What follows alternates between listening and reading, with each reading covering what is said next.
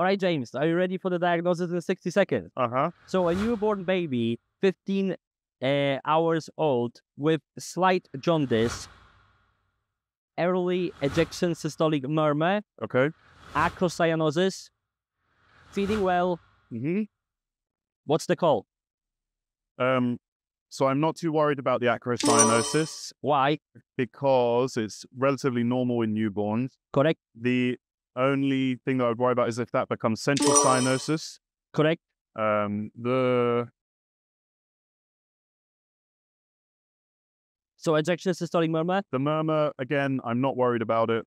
Um, perfect. it can be quite normal. So, what are we worrying about? I'm worried about the jaundice because it's within 24 hours of birth. That's correct. The first thing that I'm going to w- want to find out is what is the mum's blood type? Is she rhesus positive or negative? Yes. I'm assuming that she's negative. I think Yes. dad is likely to be positive.